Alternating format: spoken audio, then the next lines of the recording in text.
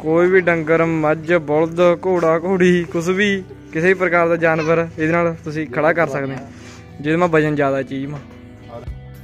ਤੇ ਜੀ ਇਹ ਜੁਗਾੜ ਹੈ ਜਿਹੜਾ ਜੀ ਉਹ 13500 ਵਿੱਚ ਤਿਆਰ ਹੋਇਆ ਤਾਂ ਬਾਈਆਂ ਦਾ।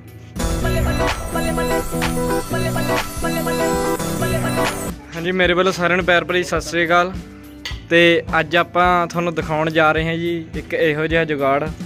ਜਿਹੜਾ ਕਿ ਇੱਕ ਕਿਸਾਨਾਂ ਨੇ ਖੁਦ ਤਿਆਰ ਕੀਤਾ ਹੋਇਆ ਏ ਤੇ ਇਹ ਜਿਹੜਾ ਫਾਰਮ ਵਾਲਿਆਂ ਲਈ ਬਹੁਤ ਹੀ ਵਧੀਆ ਲਾਹੇਵੰਦ ਹੈ, ਕਿਉਂਕਿ ਜਿਹੜੀਆਂ ਗਾਵਾਂ ਹੁੰਦੀਆਂ ਨੇ, ਆਪਣੀਆਂ ਮੱਝਾਂ ਵੀ ਚਾਹੇ ਕਈ ਗਾਵਾਂ ਦੀਆਂ ਜੀ ਲੱਤਾਂ ਬਹਿ ਜਾਂਦੀਆਂ ਏ, ਉਹਨਾਂ ਤੇ ਉੱਠ ਨਹੀਂ ਹੁੰਦਾ, ਤਾਂ ਉਹਦੇ ਲਈ ਇਹ ਜੁਗਾੜ ਤਿਆਰ ਕੀਤਾ ਹੋਇਆ ਏ।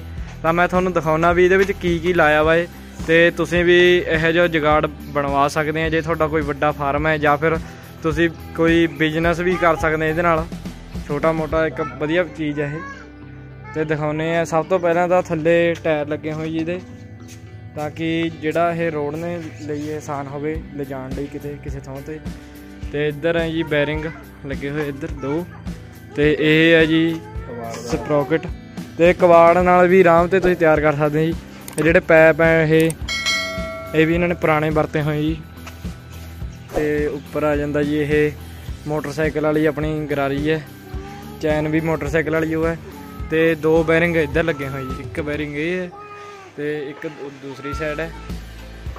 ਤੇ ਇੱਧਰ ਲੱਗੀਆਂ ਹੋਈਆਂ ਪੁਲੀਆਂ। ਇੱਕ ਪੁਲੀ ਇੱਧਰ।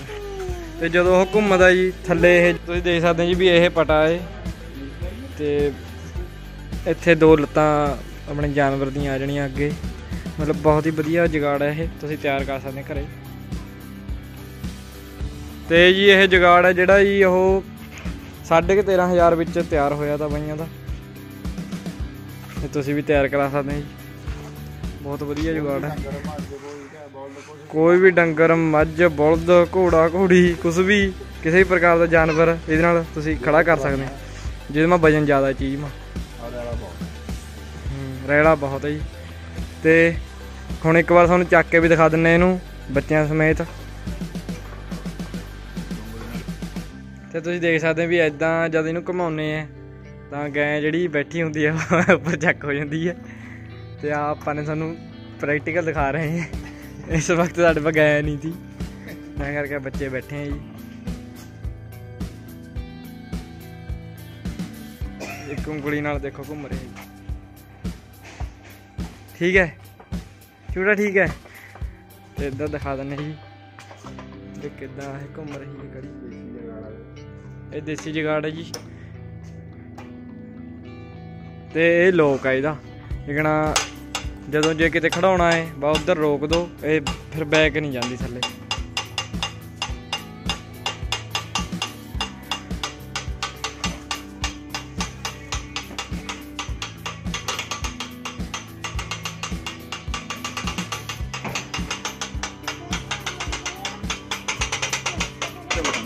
ਤੇ ਜੇ ਤੁਸੀਂ ਇਹ ਮਸ਼ੀਨ ਲਿਜਾਣੀ ਹੋਵੇ ਜੀ ਤੇ ਬੂਰ ਮਾਜਰੇ ਪਿੰਡ ਇਹ ਮਸ਼ੀਨ ਅਵੇਲੇਬਲ ਹੈਗੀ ਹੈ।